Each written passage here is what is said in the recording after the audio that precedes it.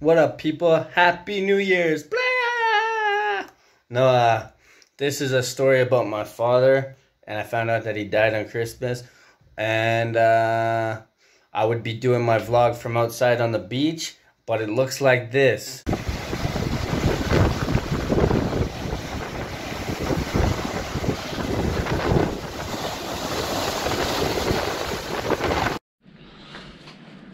What up, people? This is Bunjo. You know, Merry Christmas, Happy Holidays, Happy New Year. Buy a t-shirt from teespring.com backslash this is Bunjo.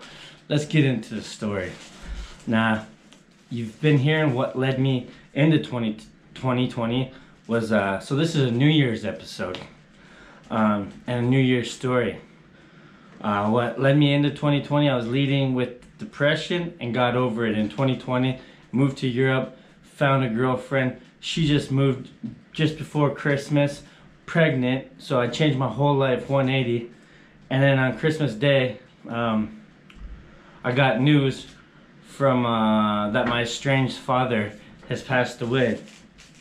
And um, now, uh, first off, let me give you a little background about my father.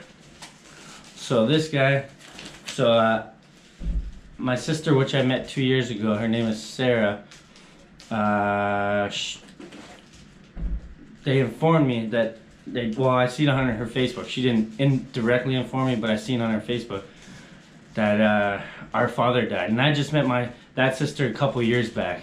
So, and that's the same time I found out about my father, and then you know. So let me get into the story. So, my aunt, my father's sister, uh, asked me what I knew about him. And I just met my aunt today. So there it is. She asked me what I knew about him because she doesn't know. He was so, uh, he hated family, I guess. I don't know. Because he, he, repelled all his family away from him. Like, like we were mosquitoes or something. You know what I mean? And uh, so she asked me what I knew about him. I'm like, huh, I know his name's Armin. And the other thing I know about him is that uh, he wasn't very nice to women he went to jail. So let me give you, here's a story. Let's start off with a story about him.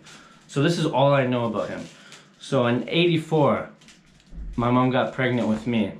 My father went to jail for uh, robbing an old lady, pushing her down the stairs. So she, he went away for about nine years, I'd say. Came out when I was about 9, 10. Um, and this is the only time I ever met him. I met him one time in my life. So, and this is the only time I was coming home from school. I remember this vividly still. Coming home, you know, whistling like Andy Griffith and shit. And uh, this stranger pulls up in this little, you know, those rape vans, you know, that everybody says, watch that white van, it might be a raper, you know. I mean, my daddy didn't rape me or anything. I ain't getting about, I ain't doing that. he didn't touch me. This, he only met me one time. He doesn't kiss on first dates. No, I'm joking. But uh, this is serious, actually. Um, so he kidnapped me. And I don't know what his intentions were.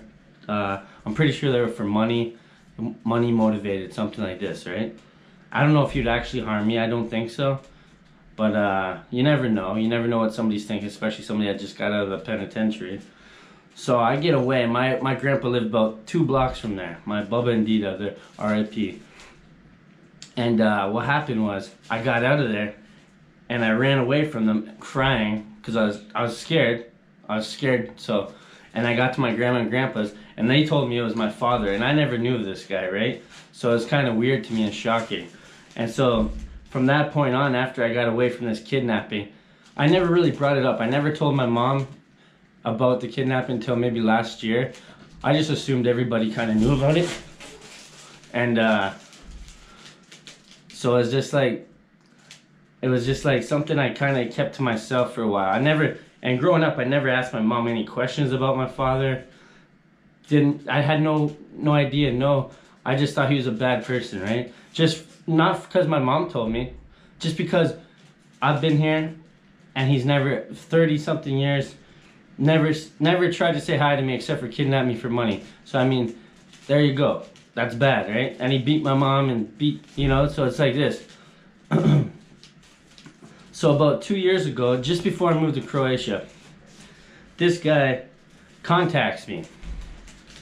and this is all I know about this guy, right? He contacts me and says something like, uh, so he he's uh, so so for one, he calls himself Joe, which is my name, Joe. But apparently his middle name is Joseph. So my first name is Joseph. So he called himself Joe, Joe Demers on Facebook. And I'm like, that's weird because I, I didn't know his middle name was Joe. I thought he was just saying it. So so he sees my picture, me and my buddy, uh, uh, Andrew Hooker and Jeff Salas. We're in my basement on 14 Holton Street, and we're dressed up in like uh, blazers and looking nice. We're about to go out, you know, have some champagne, whatever. And uh, there's a pink pipe across the ceiling because that's I told you guys about that pink pipe, you know, that ran across the ceiling. And he's like, I always knew you were gonna be a faggot. And that's the first thing he ever said to me. First thing he ever said to me. That's the first introduction I had to him. And then he commented like a wild man on all my pictures. And then he commented some story like he called he's uh saying derogatory terms about my mom, like, you know, my mom fancies a man or two, you know, you, you know, a floozy, whatever you but in a little harsher terms, right? And um so he starts telling me about this that angels came and picked him up uh, from our house because uh, my mom tried to kill him and uh, brought him to jail. I'm like, so you went to jail, but my mom tried to kill you, right, buddy? And then he started giving me all this fucking weird, weird stories about angels and stuff, and I'm like, and I'm like, dude, I know you're a piece of shit and you scam women, and that's what you do. That's what you do for your whole life. So, so now, my girlfriend last week. So that's all I know about him, right? So those, those, that's the story I have about him. So my girlfriend that I met this year just turned my life around for the best uh, became happy again, uh, have a kid on the way, met the love of my life, uh, moved to Europe, uh, got out of depression, got out of addiction. Now I'm doing great. So, and I forget about this guy, right? So at the back of your mind, you're like, oh, maybe, maybe it's like it's nice to have a peace of mind that you that at least you know your dad, right? That you know your father, you got a chance for better for worse. You know what I mean?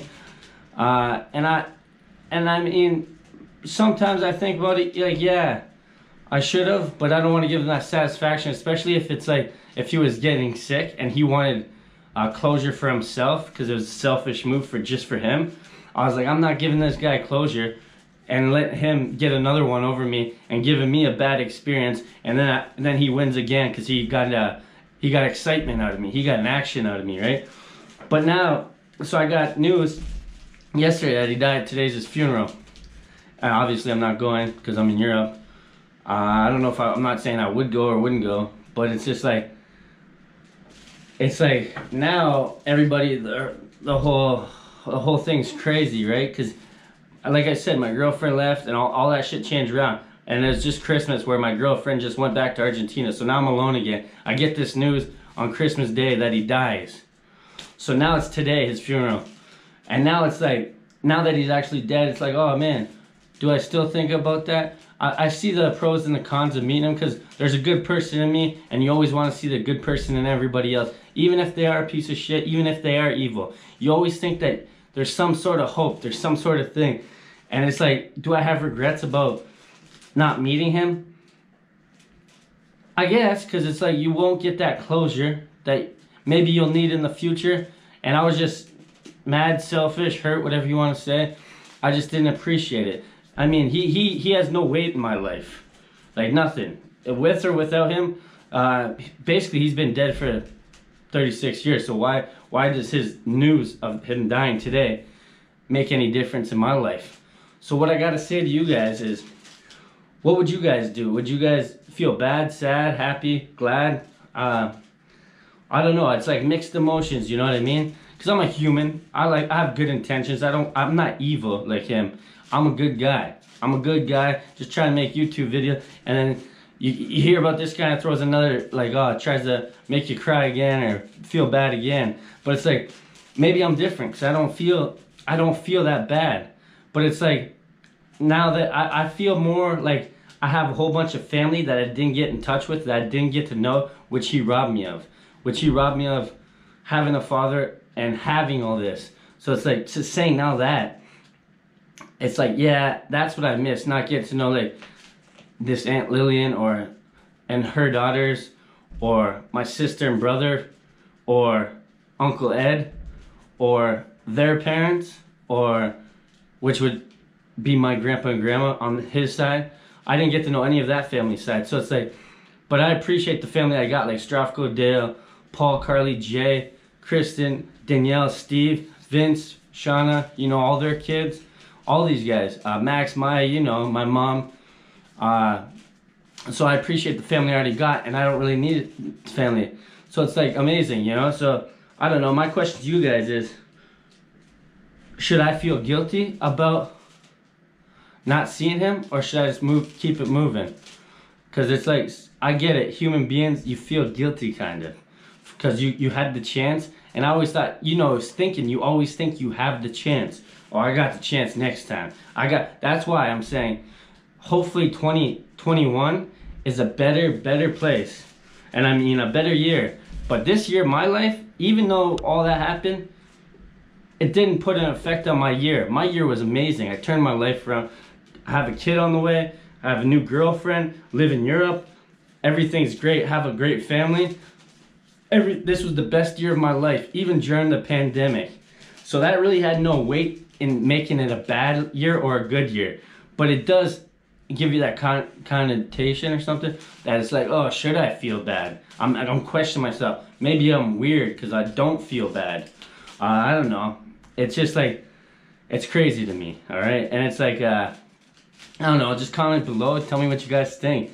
And uh i hope 2021 is the exact same kind of year. Everything going up and up and up and raising levels you know because there's levels to live in. And uh next year should be levels. You know i'm at 406 subscribers right now. I started with zero experience zero. Like i didn't never edited never made a film before never did anything bought a camera, uh, did all this shit, starting to edit now. Like, everything's looking up. So it can only go up from here, is what I'm saying. So, uh, I don't know. I'm to keep it moving and stay happy and stay blessed. Thank y'all for watching. This is Plunger. You know where it's at, boy. Sundin, you know, Sundin on the scene, boy. Sundin, get them slap shot hitters. Yeah. And I'm to enjoy this Ožujsko and enjoy the rest of my year. And there's to be a party a party video coming up. And this is my New Year's video, you know? A little depressing, but a little bit better.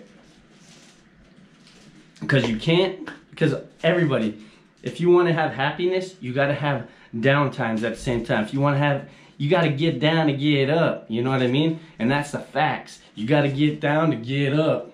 Got to get down to get up. Everything's not just like this. You got to go ding, ding, ding, ding, ding, ding. That's, that's life. Ding, ding, ding, ding, ding, ding, ding, ding. And that's life, you know what I mean? It's stairway. Stairways to heaven, bro. That's how we do it. And uh, thanks for watching again. I know I already said that shit. But uh, this this was a this was a different video. You know what I mean? Thank you.